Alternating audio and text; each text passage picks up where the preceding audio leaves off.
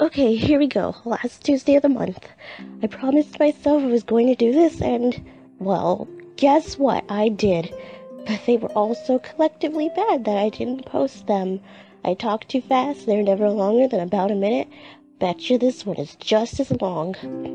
This time I'm scripted, vaguely. Improv is something I've always been average at, never super good.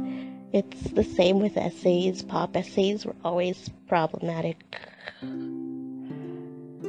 Off topic, um, I have a bit of a cold. You might be able to hear that. Anyways, Tuesday, it might not actually be every Tuesday, maybe every other Tuesday. I'm going to call them Talk Tuesdays. Has the word Tuesday starts to sound weird yet?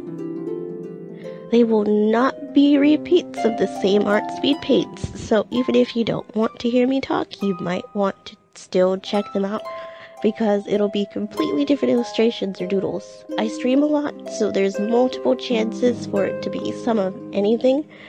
Should you attend those streams, you may be able to get requests drawn and see your characters here. Awkwardly voiced videos and all, I've actually been quite the busy bee. I got to sell some prints and other cool stuff at an artist alley at a con called Anime Impulse with my friends. We were under the name Endless Future Productions, EFP for short, and well, if you happened to see us there, I hope you liked what you saw. I sold a few things, came back with a few others. I'm thinking of perhaps doing a raffle, so be on the lookout, subscribers but it was a very good experience, I'd say. I was super nervous, but at least I wasn't alone, you know? Maybe next time I'll be able to speak out a little more. I mean, I did have to run shop for a little bit that first day because everyone was exhausted from getting up early, except for me, early bird extraordinaire. And they kind of knocked out on me. But, like, 10 out of 10 would want to do it again maybe not an AI, or well, not that. I just choose my merch a little better. Nevertheless, I know it went well because my friends were there with me. I feel I would have been extremely in over my head without them.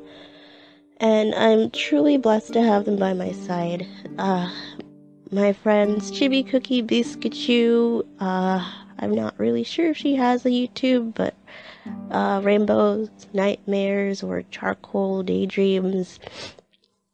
Uh, they're just really good friends, and I'm just really glad to have them. Um, anyways, thanks so much for watching. If you like what you see, feel free to hit that like button for more, and maybe subscribe so you can get the jump on those Talk Tuesdays, or just Speed Paint Monday, or anything. And I hope you have a blessed day, you guys. Oh my gosh, look at that. Three minutes and 30 seconds.